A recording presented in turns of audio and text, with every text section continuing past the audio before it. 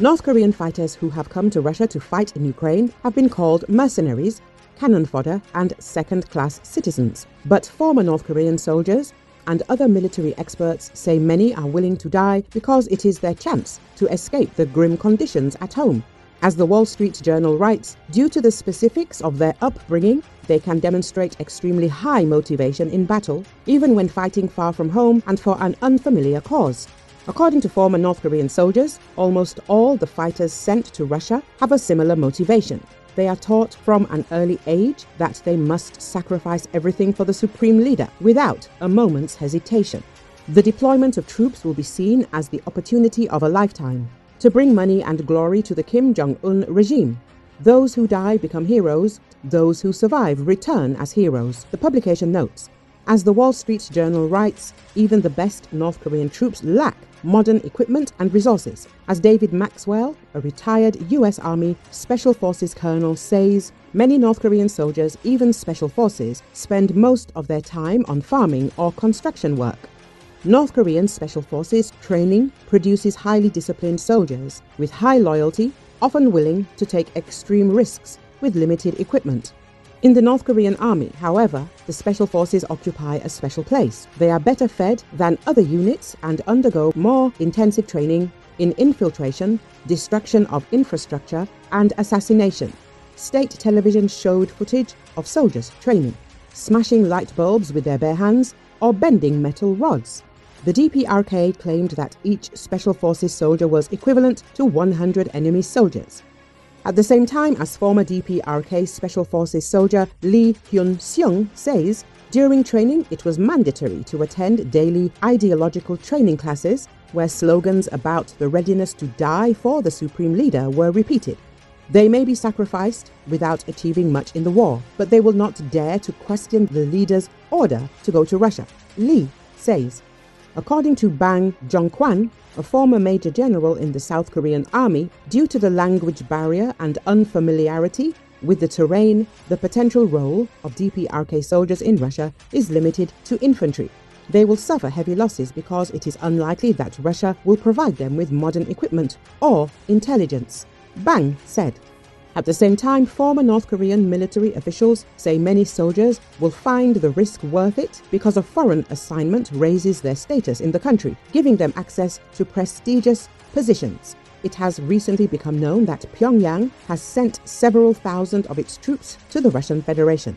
Ukrainian President Volodymyr Zelensky reported that there are already 11,000 North Korean troops in the Kursk region and they have already suffered losses. At the same time, according to military expert Alexander Kovalenko, Russia does not fully understand how to effectively use the DPRK military at the front. He noted that the key problem is the interaction between this contingent and the Russian forces.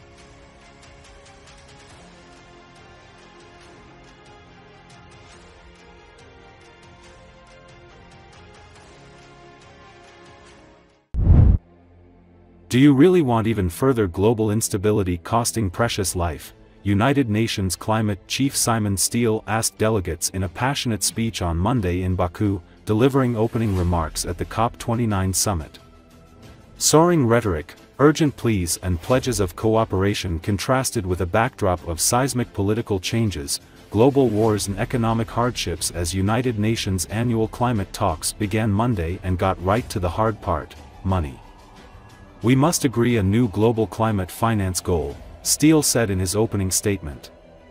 He said failure to reach climate goals would result in higher energy and grocery bills, weakened economies and global instability, for everyone. If at least two-thirds of the world's nations cannot afford to cut emissions quickly then every nation pays a brutal price. If nations can't build resilience into supply chains, the entire global economy will be brought to its knees. No country is immune, he said.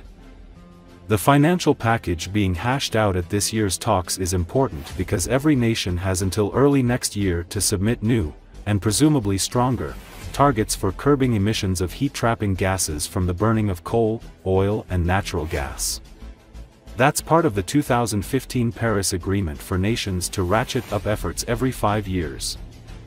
The long-term global average temperature is now 1.3 degrees Celsius above pre-industrial times, only two-tenths of a degree from the agreed-upon threshold.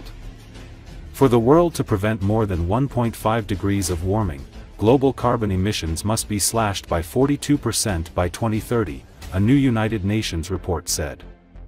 We cannot leave Baku without a substantial outcome, Stiell said. Now is the time to show that global cooperation is not down for the count. It is rising to the moment.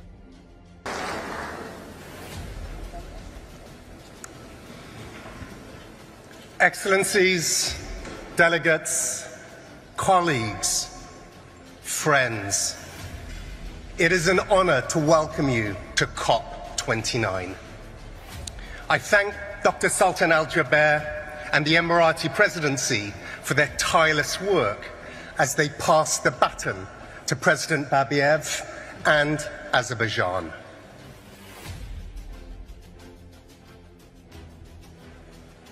This UNFCCC process is the only place we have to address the rampant climate crisis and to credibly hold each other to account to act on it. And we know this process is working because without it, humanity would be headed towards five degrees of global warming.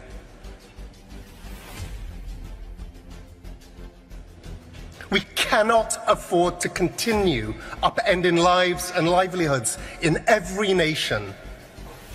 So let's make this real. Do you want your grocery and energy bills to go up even more?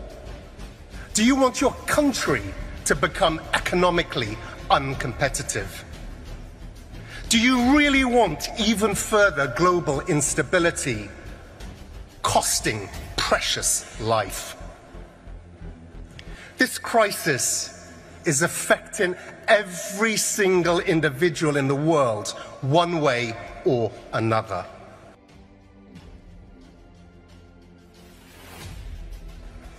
We must agree a new global climate finance goal. If at least two-thirds of the world's nations cannot afford to cut emissions quickly, then every nation pays a brutal price. If nations can't build resilience into supply chains, the entire global economy will be brought to its knees. No country is immune. And even as temperatures rise, the implementation of our agreements must claw them back. Clean energy and infrastructure investment will reach $2 trillion in 2024, almost twice that of fossil fuels. The shift to clean energy and climate resilience will not be stopped. Our job is to accelerate this and make sure its huge benefits are shared by all countries and all people. In the past few years, we've taken some historic steps forward. We cannot leave Baku without a substantial outcome. Appreciating the importance of this moment parties must act accordingly. Now is the time to show that global cooperation is not down for the count. It is rising to the moment. So I urge you all, let us rise together. I thank you.